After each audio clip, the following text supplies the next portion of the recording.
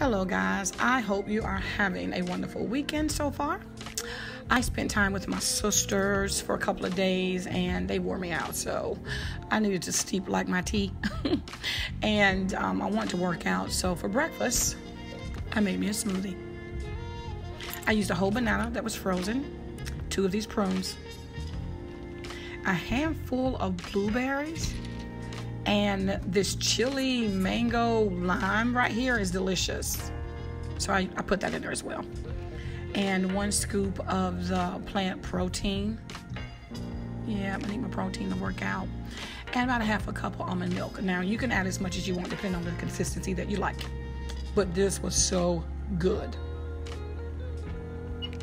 Just what I needed for a workout.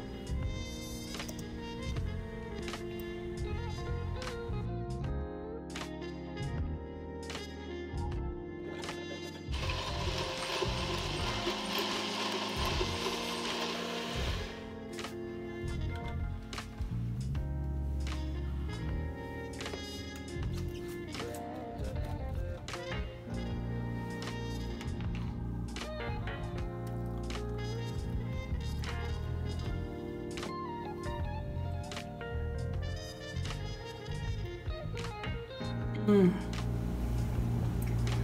That is so good.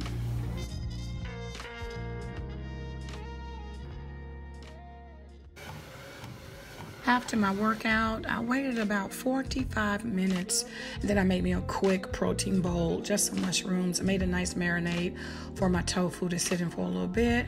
I steamed some brown rice medley in the microwave and topped it off so it was good. It was filling.